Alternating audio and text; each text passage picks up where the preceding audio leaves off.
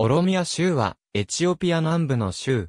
面積は284,538京平方メートルで、2015年の人口は3369万2000人。人口密度は118.4人、京平方メートル。エチオピアのすべての州、自治区の中で最大の人口、面積を持つ。州都はアダマ。公用語は、オロモ語。1995年に、民族ごとに州が再編された際、オロモ人が多数を住める地域をまとめて組織された。州中北部にアディスアベバを、北東部にハラリ州を内包する。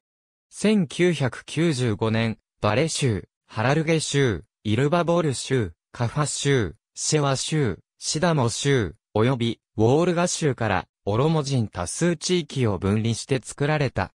隣接するソマリ州のソマリ人とオロモ人との間では宗教付近の土地や資源管理の問題で争いが続いていたが、2017年9月には100人単位の死者が生じる衝突に発展。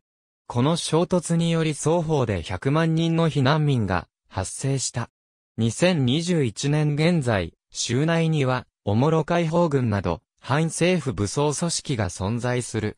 サブナショナル HDI、エリアデータベース、グローバルデータラボ、hdi.globaldatalab.org、2018年9月13日閲覧。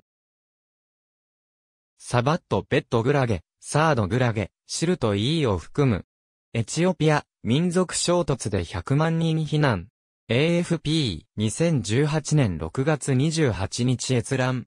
エチオピアが非常事態宣言内戦緊迫、市民に自衛呼びかけ。毎日新聞。2021年11月3日閲覧。シティポピュレーション閲覧日。2016年8月23日。ありがとうございます。